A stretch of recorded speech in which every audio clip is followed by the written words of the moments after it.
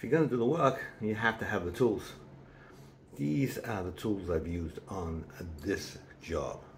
Okay, so variety of levels, tripod, vacuum, dust collector, bunch of buckets, trowels, measuring bucket, mixer, laser levels, hole saws, hole saws, brush, tape measure, hammer, scissors, utility knife, margin trowel, flat trowel, nippers, drill, battery packs, grinder,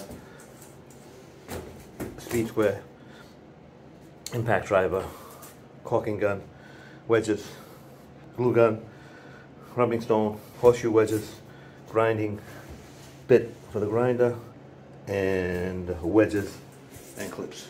Don't forget snap cutter and the wet saw in the other room.